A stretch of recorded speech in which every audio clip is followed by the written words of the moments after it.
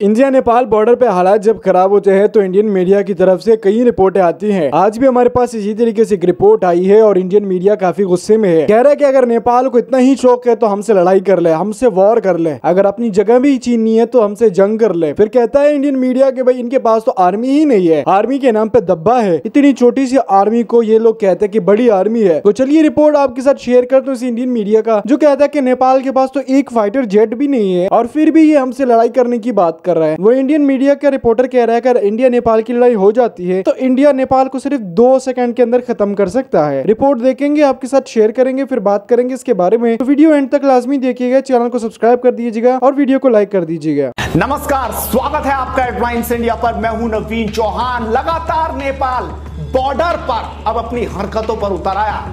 उसने भारत के एक आम नागरिक को मार दिया। गोलीबारी शुरू कर दी।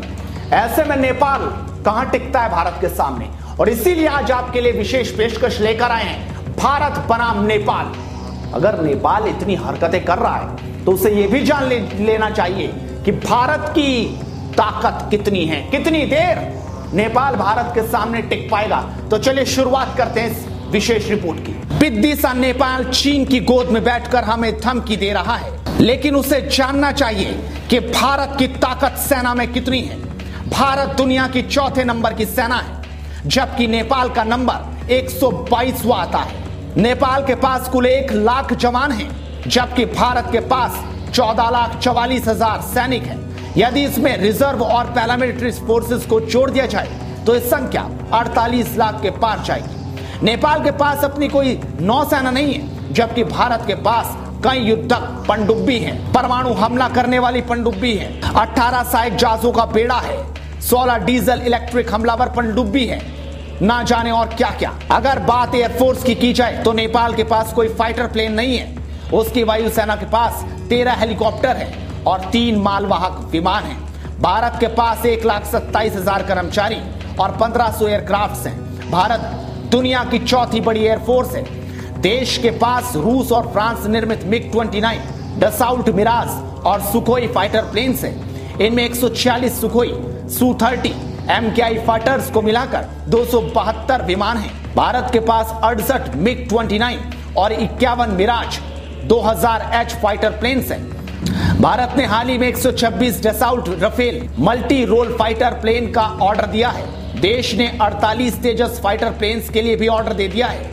इसके अलावा कई तकनीकियों से लैस सैकड़ों फाइटर प्लेन्स भारतीय वायुसेना के जखीरे में हैं। नेपाली सेना के पास कोई टैंक नहीं है। अलबत्ता उसके पास खींची जाने वाली सिर्फ़ चौरासी तोपे हैं। भारतीय सेना की ताकत का अंदाज़ा इसी से लगाया जा सकता है कि सेना के पास 2414 टी बहत्तर युद्धक tank 807 T 90 tank 248 Arjun M K two tank हैं। इसके अलावा 550 टी पचपन टैंक भी है। 807 पिनाका और 150 से ज़्यादा बीएम 21 बहुउपयोगी रॉकेट लॉन्चर्स हैं।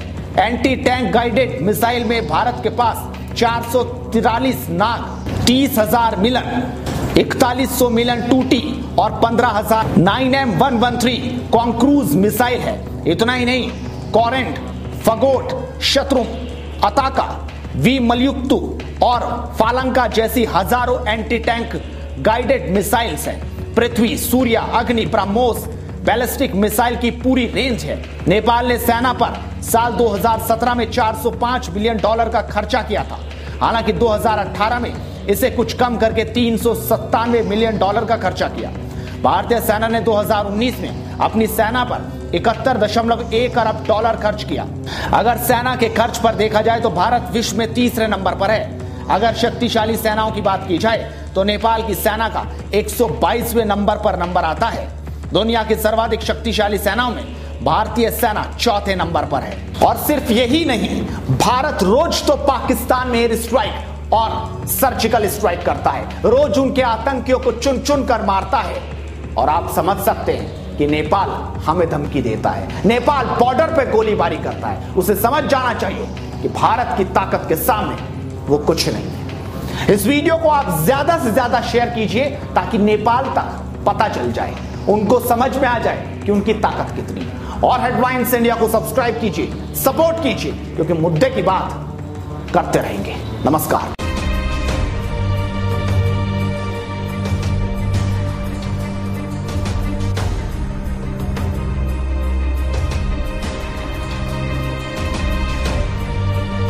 तो आप लोगों ने वीडियो देखी होगी, आपको पता है कि इंडिया नेपाल के जब हालात खराब होते हैं तो इंडिया वाले नेपाल को चर की तरह समझते हैं और कहते हैं कि नेपाल तो हमारे सामने टिक भी नहीं सकता। नेपाल कभी भी नहीं चाहेगा कि इंडिया के साथ लड़ाई कर ले। देखिए, नेपाल चाहता है कि इंडिया के साथ भी ताल्लुकात बेहतर और चाइना के साथ भी बेहतर हो। नेपाल का इसमें फ़ायदा है। देखिए, नेपाल अगर लड़ाई करेगा तो नेपाल का अपना ही नुकसान होगा। बॉर्डर बंद हो जाएगा, इसमें फिर नेपाल का नुकसान तो है ही है, बट इसमें फिर चाइना का फ़ायदा है और इंडिया का ही नुकसान है। मिसाल के तौर पर इस तरीके से समझ ले। अगर बॉर्डर के ऊपर फायरिंग की जाती है या लड़ाई हो जाती है और बॉर्डर बंद कर दिए जाते हैं। जो भी जितने भी ओपन बॉर्डर है, सारे बंद कर दिए जाते हैं और उसके बाद बॉर्डर के ऊपर तारे लगा दी जाती है और किसी को आम दौरत के लिए आने जाने के लिए नहीं छोड़ा जाता, ना ही सामान लेके जाया जाता है। तो अब नेपाल के अंदर तो जितनी इंडियन कंपनीज़ हैं, वो तो बैन हो जाएगी ना, फिर इंडिया से कोई भी प्रोडक्ट नेपाल के अंदर नहीं आएगी। नेपाल को तो ये नुकसान होगा कि यार पेट्रोल महँगा हो जाएगा या दूसरी प्रॉब्लम हो जाएगी और वो पेट्रोल की भी अब इनकी खपत जो है वो खत्म हो जाएगी क्योंकि नेपाल के अंदर अपना तेल निकल गया। अगर नहीं निकल जाता तो चाइना से वो खरीदेगा, चाइना इनको और भी सस्ते में देगा। दूसरी चीज़, इंडिया के अंदर जितने नेपाली काम करते हैं, वो वापसी आ जाएँगे। वहाँ पे उनको ये लॉस होगा। अचानक से इतने वर्कर्स जाएँगे तो लॉस तो होगा ही। ज़ाहिर सी बात है, मेरे घर में मिसाल के तौर पे, अगर एक काम करने वाला बंदा हो, और वो किसी दूसरे मुल्क से आया हो,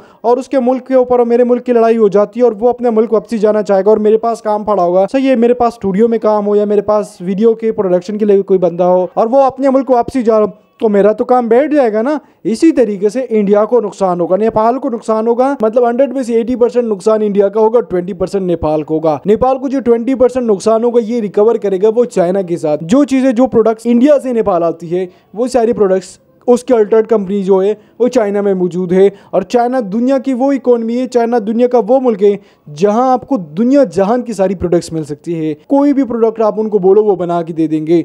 फिर आप वहाँ से परचेज कर सकते हैं इम्पोर्ट कर सकते हैं मुल्क के मुल्क। बट ये कंपेरिजन करना, ये गलत बात है कि भाई आप लोग जो है, वो मच्छर की तरह, आपके पास तो फाइटर जेट ही नहीं है। अगर नेपाल के साथ हमारी लड़ाई हो गई तो नेपाल को हम सेकेंडों के अंदर खत्म कर लेंगे, हम ये कर लेंगे, यार वो कर लेंगे। ये कभी भी नहीं हो सकता। इंडिया गलती भी नहीं करेगा, इंडिया कभी ये गलती करेगा ही नहीं कि वो नेपाल के साथ लड़ाई कर ले। और वो इसीलिए क्योंकि उनको पता है कि गोरखा जितने भी है, वो फिर नेपाल के साइड हो जाएँगे। इंडियन आर्मी में जितने भी गोरखा है, नेपाली है सारे, और वो फिर अपने मुल्क का डिफेंस करेंगे। इंडिया का डिफेंस नहीं करेंगे और इंडिया को छोड़ देंगे।